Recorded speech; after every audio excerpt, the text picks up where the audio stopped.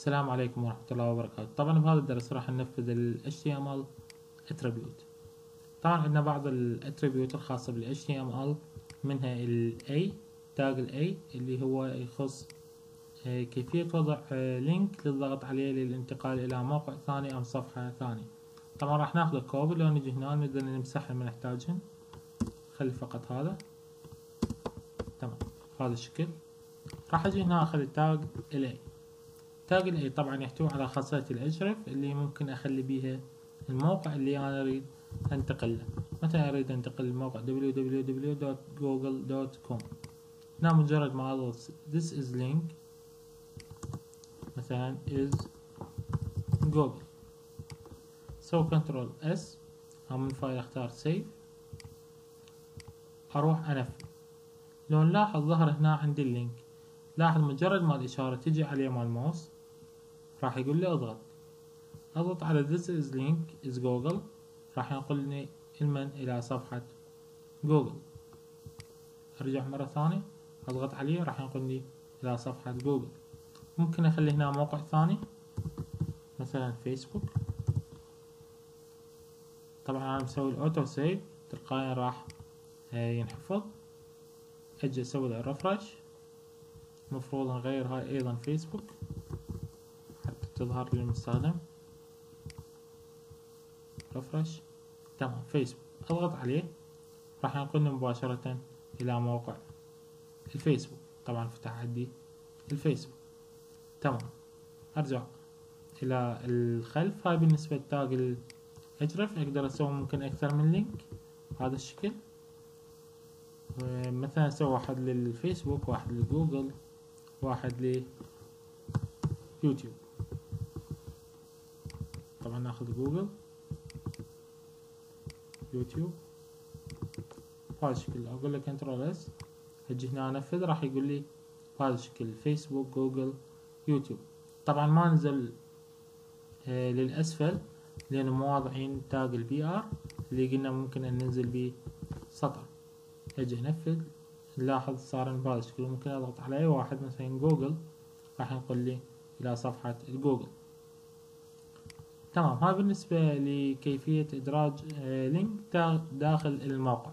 حتى ادرج اني image داخل الموقع فأحتاج إلى source image أحتاج إلى tag ال image فراح أجي أول شي أجيب الصورة. لو أرجع لهنا لل folder مالتي أقول لك كيما copy path أو أروح مباشرة لل folder اللي أنا بيه. دائما حتى ادرج صورة داخل الموقع المفروض أخلي هذه الصورة داخل ال folder. مع صفحة ال index. راح أروح على سبيل المثال أي صورة أجيبها. مثلا هذه الصورة control C control V. أو click يمين paste. طبعا هذه الصورة أغير اسمها. خلي مثلا اسمها aa تمام. لو لاحظ إن اسمها aa.jpg مع الامتداد مالتها. اذا يكون الامتداد ما ظاهر المفروض نظهره لأن مهم جدا انه نكتبه بال source حتى يتنفذ عندي الكود. بالنسبة لويندوز عشرة شلون أظهر هذه الامتدادات؟ أروح من خلال قائمة view أروح على options أختار view هنا طبعا عندي مجموعة من خيارات. هاي بالنسبة لل hide extension ممكن راح تلقاها هيج راح تلغي الصح عنها تقول له okay حتى أظهر الامتدادات. تمام هسه صار عندي الصورة بنفس ال path لو أطلع منها وأرجع لل أيضا لل Visual Studio راح ألقيها إنه هذه الصورة ظهرت عندي. شلون استدعيها داخل الصفحة؟ مجرد ما أكتب tag ال image بهذا الشكل. راح أنطي source يعني مكان الصورة. وين مكان الصورة؟ طيب مكان الصورة هو aa.jpg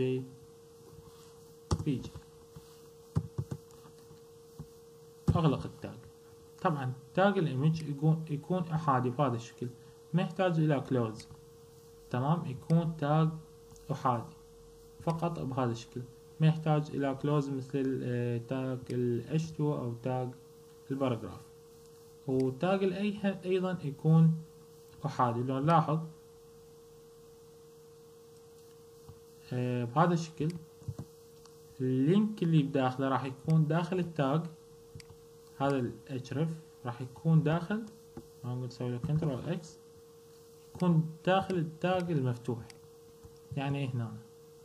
بعدها أغلق ال tag. آه، أغلق ال tag هذا المفتوح. وأغلقه آه، بالكلوز أيضا. يعني هنا راح يكون عندي الاجرف هاي الملاحظات طبعا ننتبه عليها لأن كل تاج له طريقة استعمال حاليا الصورة أنا خليتها بالأسفل لو أروح أنفذ مرة ثانية رفرش راح تظهر عندي الصورة. أيضا عندي خاصية الوذ بالنسبة لتاج الإيمج. لو أجي أقول له وذ مثلا أخليها آه، خمسمية pixel pixel أسوي لها refresh.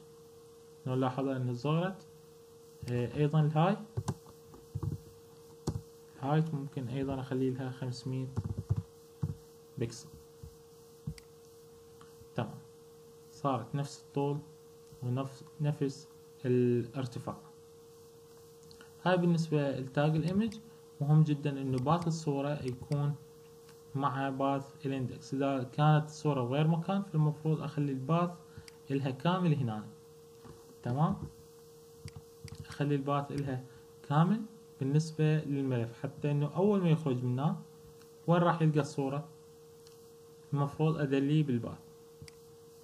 ممكن أخلي folder آه، أيضا new folder مثلا هذا ال folder اسميه image هذه الصورة انقلها داخل هذا ال folder تمام؟ هسه لو نفتح ال folder صارت الصورة داخلة.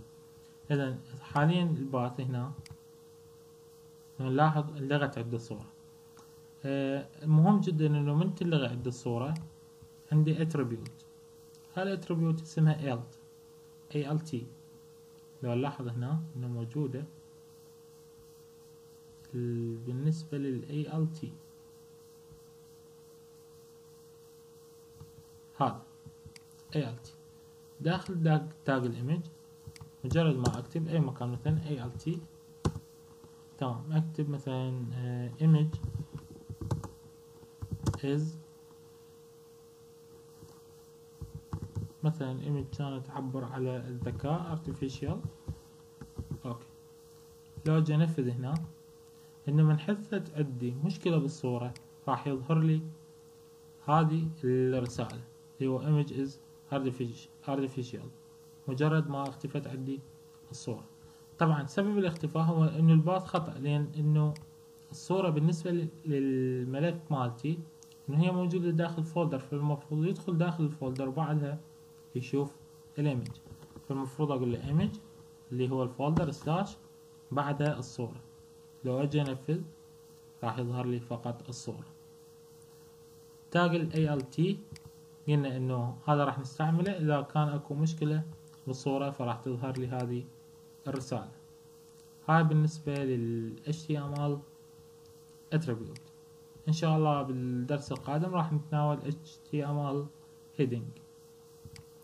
أتمنى استفدتم من هذا الفيديو وشكرا لمتابعتكم.